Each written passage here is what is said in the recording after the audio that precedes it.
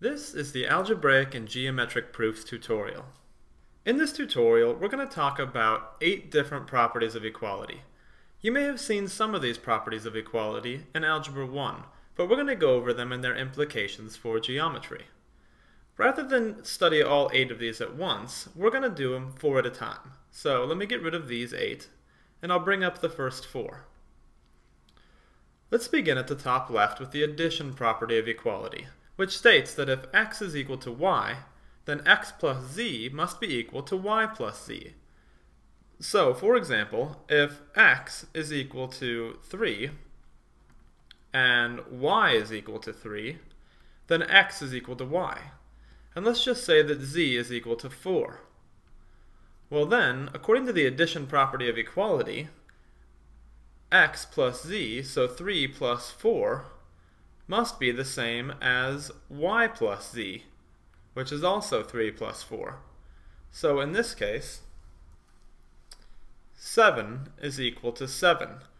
They're called properties of equality because they should be equal at the end. Let's take a look at the subtraction property of equality. If x is equal to y, then x minus z is equal to y minus z. We'll go ahead and use the same values for x, y, and z that we used previously.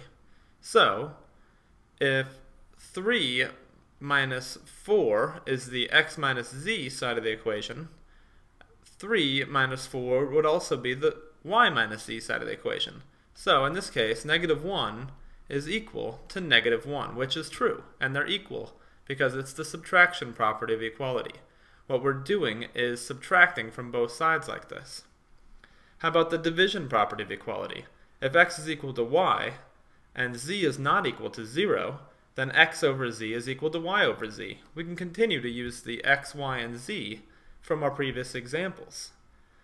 x being 3 divided by 4, which is z, is equal to y, which is also 3, divided by z, which is 4. That's true too. They're equal, like they should be. And the multiplication property of equality, same thing. We'll use the x, y, and z that we've been using before. So x times z 3 times 4 must equal y times z, which is also 3 times 4 since x and y are equal. So 12 is equal to 12. So again, equal as they should be.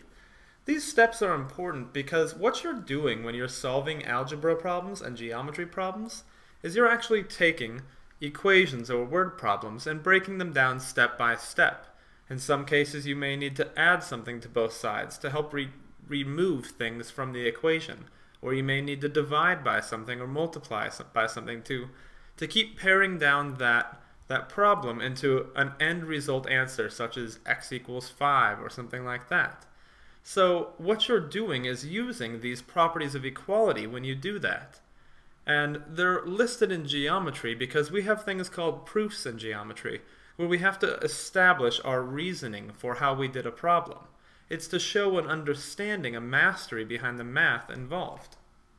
Now let's take a look at the next four properties of equalities. Here at the top left, we have the reflexive property of equality, which essentially states x is equal to x, that at any given time, 3 is equal to 3, or 5 is equal to 5 or even a variable x is equal to x. It's often important at the end of a problem, or even during in geometry, to establish why you're doing something. If you want to say that segment AB is equal to itself, segment AB, sometimes that's important in geometry, and we're going to see that later in practice problems. The substitution property of equality states that if x is equal to y, then y can be plugged in for x in any equation. For example, if x were equal to 3, and we had the equation 3x plus 5 is equal to 14, then in theory, according to the substitution property of equality, if we were to substitute that value for 3 in for x, it should also equal 14. 3 times 3 is 9 plus 5 is equal to 14, as it should be. Again, we end up with two things equal to each other because it's a property of equality. Take a look at the transitive property of equality. If x is equal to y and y is equal to z, then x is equal to z. This actually reminds me of the law of syllogism in geometry. So if x were equal to 3, and y were equal to 3, and z were equal to 3, then not only would x equal y, but x would also equal z because of the transitive property of equality.